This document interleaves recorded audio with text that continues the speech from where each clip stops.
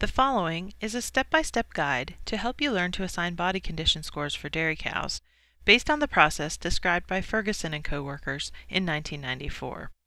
Scorers using this method will be able to assign body condition scores consistently and accurately. This system will teach you to evaluate specific areas of the pelvis and loin in an orderly fashion. Scores range from 1 to 5 in increments of 0.25. The amount of body fat increases as you move up the scale from 1 to 5. This system concentrates on accurately assigning scores from 2.5 to 4.0. Scores outside of this range are extreme and indicate serious problems. For example, the difference between a 4.75 and a 5.0 is insignificant. Both cows are seriously overconditioned and prone to the same metabolic problems we would not base management decisions on the differences between these scores. The same is probably true of two cows scoring 1.5 and 1.75. Both are seriously underconditioned. Even with a structured system such as this, some cows will fall between the categories described. In this case, you must use your judgment to decide which score best fits each cow. As you assign scores, it may be helpful to uh, continue one step past the score you think the cow should receive. This allows you a second opportunity to consider her final body condition score. Before we learn the scoring process, let's review the anatomical areas that are evaluated when assigning body condition scores. For dairy cows, we focus on the pelvic area and the loin. When viewed from the side, we will evaluate the visibility of the hooks, the pins, the thurl, and the short ribs. From the rear of the cow, we again evaluate the hooks, the pins, the thurl, and the short ribs, and we consider the sacral and tailhead ligaments. The first decision you make will divide cows into two groups, those with a body condition score less than or equal to 3, and those with a score greater than 3. From the side view, we evaluate the angle between the hooks and pins using the thurl as a reference point.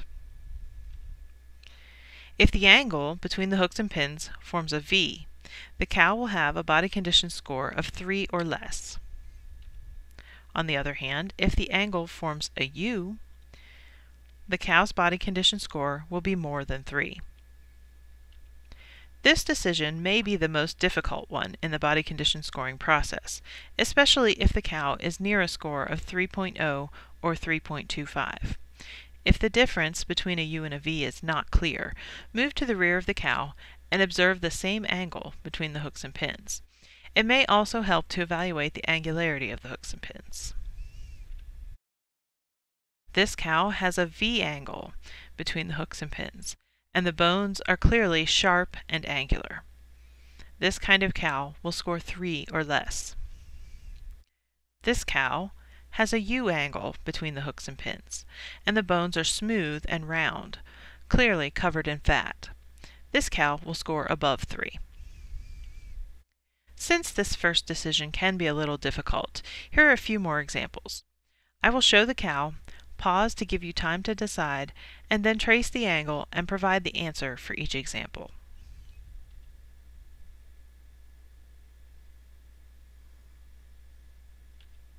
This angle is a V.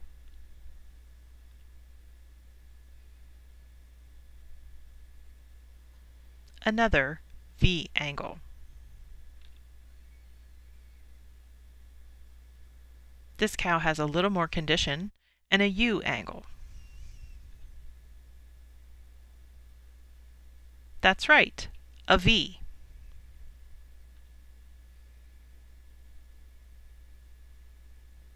Again, a V.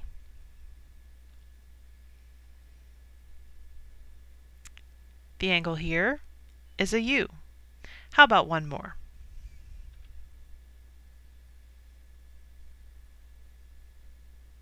Again, a U. Hopefully, you're now a little more comfortable with the first step of this process. Now, we'll work through the steps for each group of cows.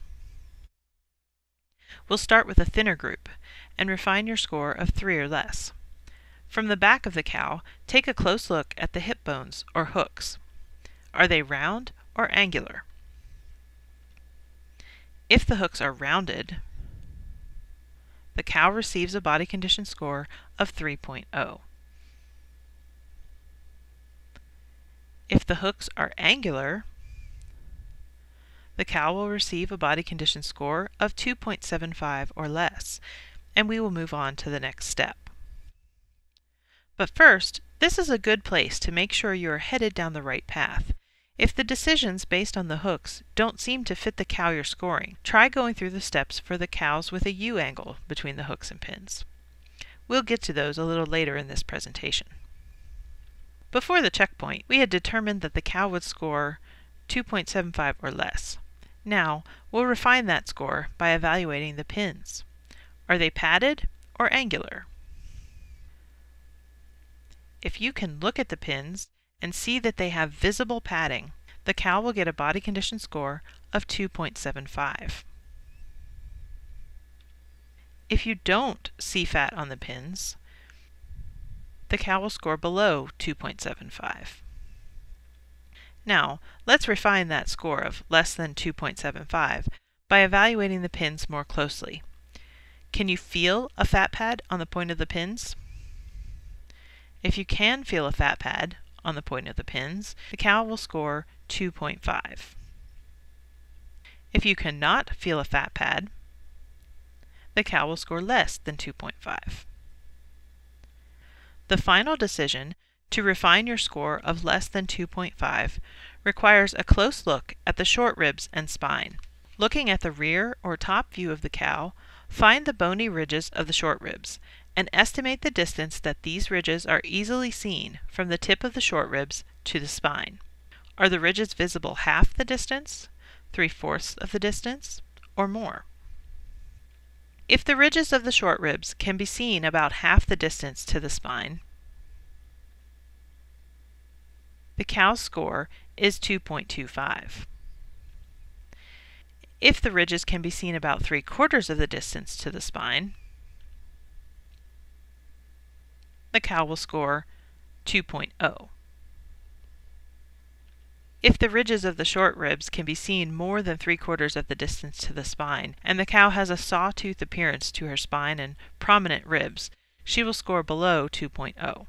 We can stop scoring at this point because cows scored below 2.0 are severely thin and would be managed similarly regardless of their exact body condition score.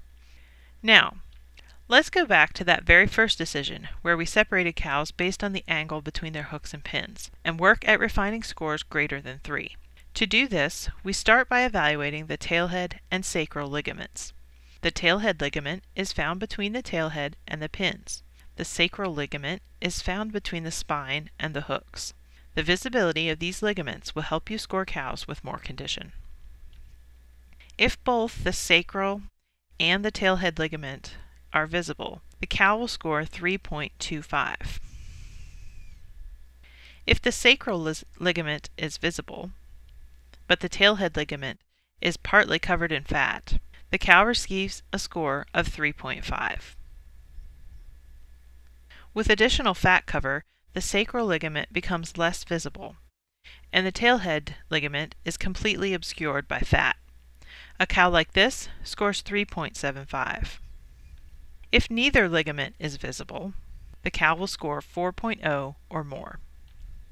If you can clearly see the ligaments described here, you may have assigned the cow to the wrong group at step 1. Try going through the steps for cows with a V angle between the hooks and pins that were discussed earlier in this presentation. When we left off, we had a cow with a score of over 4. Let's refine that by evaluating the thurl, short ribs, pins, and hooks. The score will increase as more of these parts are covered with fat. The area between the hooks and pins is the first of these landmarks to fill in with fat. So in all cows with a score over 4, the thurl area appears flat. The short ribs get covered next. If you can see the tips of individual bones in the short ribs, the cow gets a score of 4.0. if the tips of individual bones in the short ribs are just barely visible. The body condition score is 4.25. As fat continues to accumulate, the tips of the short ribs can no longer be seen as individual bones, and the pins are no longer visible. Such a cow scores 4.5. When the bones of the hooks become barely visible, the body condition score is 4.75. The highest score of 5.0 is assigned to cows that have a generous covering of fat on all the bones we've discussed. These cows are well rounded.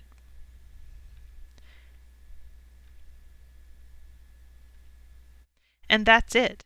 You've now learned to score the body condition of dairy cows and are ready to put this scoring method into practice.